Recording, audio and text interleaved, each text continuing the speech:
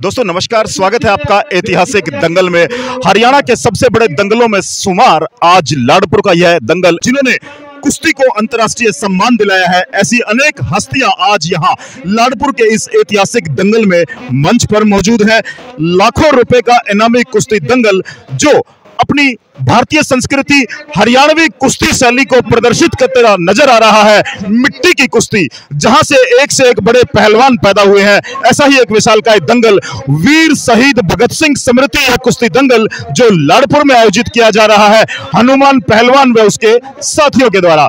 चर्चा करने के लिए हमारे साथ जिला झज्जर कुश्ती संघ के प्रधान है भाई लिल्लू पहलवान जी। शुरुआत उन्हीं से करते हैं। पहलवान जी, स्वागत है आपका इस ऐतिहासिक दंगल में। धन्यवाद संजय भाई और सबसे पहले तो आपका स्वागत है। आप लोगों ने जाकर कुश्ती को बढ़ावा देने के लिए जो इस दंगल की कवरेज करने का काम दिया है। सबसे पहले मैं आपका शुक्रगुजार हूँ धन्यवाद हूँ।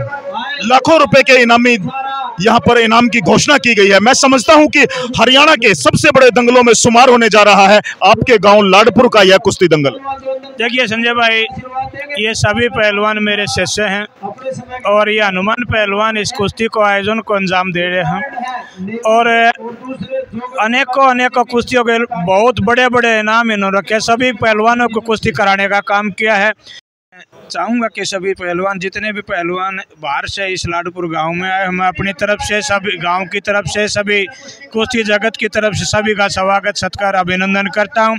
और जो भी भाई इस लाडपुर में आए, हम उन सभी के आभारी हैं। इस दंगल में सहयोग करने वालों के देश देश के हर कोने से इस दंगल में अनेकों पहलवान, अखाड़ा संचालक, कोची साहिबान आए हैं जो कुश्ती को बढ़ावा देने के लिए हर संभव दिन रात एक किए हुए हैं। सभी के सभी इधर आए हैं। अनेकों भारत के श्री पहलवान, जैसे नवीन पहलवान है, जहांगीरपुर गाँव से रणबीर कोच साहब है, राजेंद्र पहलवान हैं, हमारे रेलवे से बंसी पहलवान जी हैं और बिल्लू ठेकेदार है और जितने भी काला पहलवान है से है ये अपना धर्म पहलवान पैतावास से हैं और लड़ने वालों में भी जैसे हितेश पहलवान है और अजय पहलवान, लाखूवास है, खासकर दोनों ही पहलवान देश के अच्छे सिरमौर पहलवान हैं। बाकी और पहलवान भी इस दंगल में आए हैं, मैं सभी का स्वागत, सत्कार, अभिनंदन करता हूँ। और इस दंगल करवाने में मैं इस सारी टीम का, सारी टीम को मैं आशीर्वाद भी देता और बधाई भी देता हूँ ताकि आने वाले टाइम ऐसे और कार्यक्रम कराते रहे और कुश्ती को बढ़ावा मिले। इस देश की कुश्ती आगे जाए। धन्यवाद। जय हिंद, जय भारत।